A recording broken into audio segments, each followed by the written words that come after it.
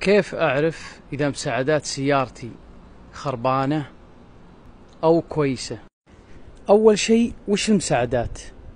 المساعدات هي ممتص الصدمات في السيارة يعني لما تكون مثلا ماشي بالسيارة ولا ماسك خط وتاخذ لك مطب أو السيارة يكون فيها اهتزاز بسبب ارتفاعات ونزول في الخط وش المسؤول عن ثبات السيارة وش اللي يضمن لي الأمان بعد الله في السيارة؟ المساعدات. وين المساعدات؟ هنا.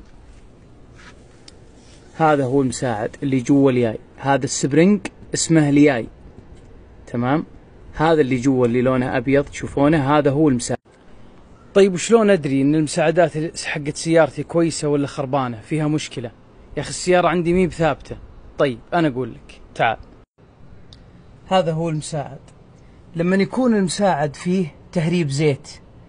يعني إذا جيت هنا تشوف فيه تهريب زيت في المساعد سواء من تحت أو من المنطقة هذه.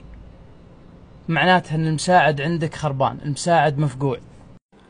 طبعا كل محور من محاور السيارة فيه اثنين مساعدات يعني كل كفر فيه مساعد واحد. طبعا حتى من الخلف يكون فيه اثنين مساعدات. شوفوا الآن هذا المساعد الجهة اليمين الخلفي وهذا المساعد الجهة اليسار.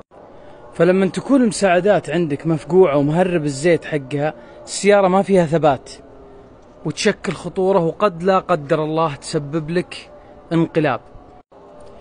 عشان كذا بعض الشباب اللي يطعسون وأهل التطعيس وأهل السيارات المعدلة تلقاه أما يركب مساعدات رياضية أو يركب دبل مساعدات. يعني قدام بدل ما يكون في اثنين في كل كفر مساعد واحد لا تلقى في كل كفر اثنين مساعدات. يعني بدل ما يكون هنا مساعد واحد تلقاهم يحطون اثنين مساعدات. عشان يكون الثبات بعد الله والأمان في السيارة أثناء التطعيس أكثر بإذن الله.